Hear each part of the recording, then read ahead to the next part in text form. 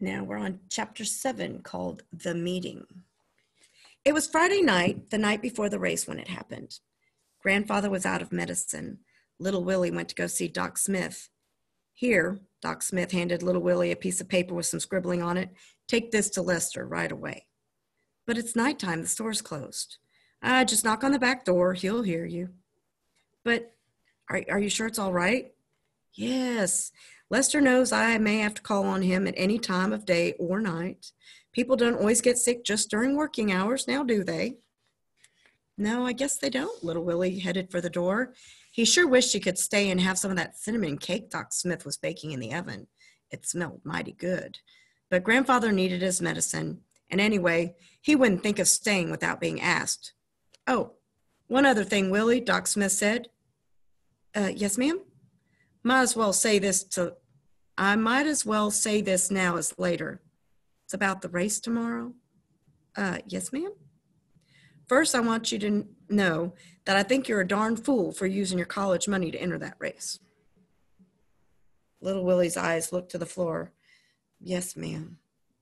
But since it's already been done, I also want you to know I'll be rooting for you.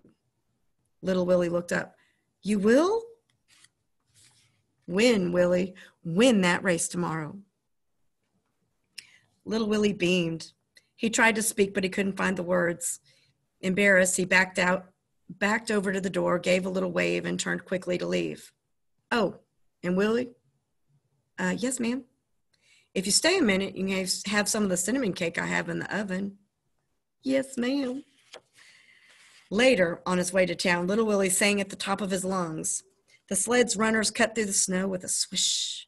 This was a treacherous road at night, but the moon was out and Searchlight could see well. And anyway, they knew this road by heart. Nothing was going to happen. Lester gave, a, gave little Willie a big bottle of what looked like dirty milk. How's your grandfather doing? Lester asked.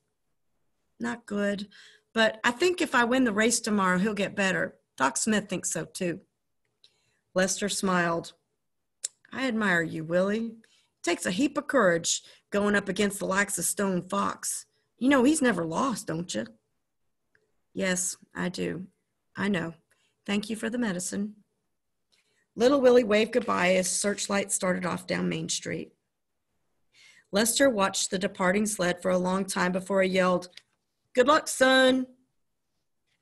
On his way out of town along North Road, little Willie heard dogs barking. The sounds came from the old deserted, deserted barn near the schoolhouse. Little Willie decided to investigate. He squeaked the barn door open and peeked in. It was dark inside and he couldn't see anything. He couldn't hear anything either. The dogs had stopped barking. So he went inside the barn. Little Willie's eyes took a while to get used to the dark, and then he saw them the five Samoyeds. They were in the corner of the barn on a bed of straw. They were looking at him. They were so beautiful that little Willie couldn't keep from smiling. Little Willie loved dogs. He had to see the Samoyeds up close. They showed no alarm as he approached or as he held out his hand to pet them. And then it happened.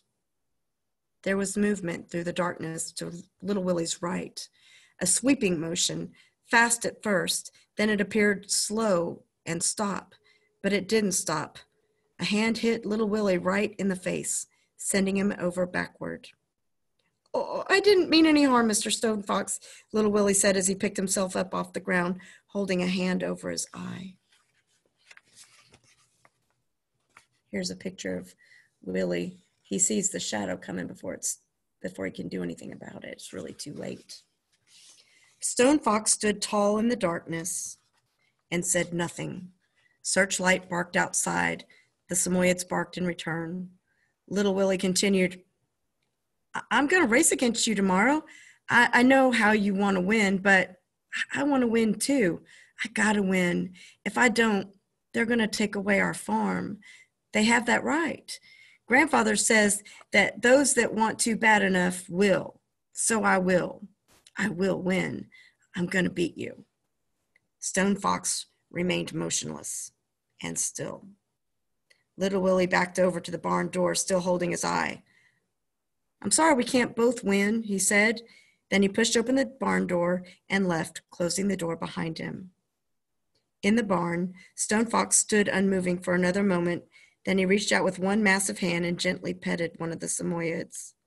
That night, little Willie couldn't sleep. His eye was killing him. And when little Willie couldn't sleep, Searchlight couldn't sleep. They both tossed and turned for hours. And whenever little Willie looked over to see if Searchlight was asleep, she'd just be lying there with her eyes wide open, staring right back at him. Little Willie needed his rest. So did Searchlight. Tomorrow was going to be a big day, the biggest day of their lives. Dun, dun, dun. And that's the end of the chapter.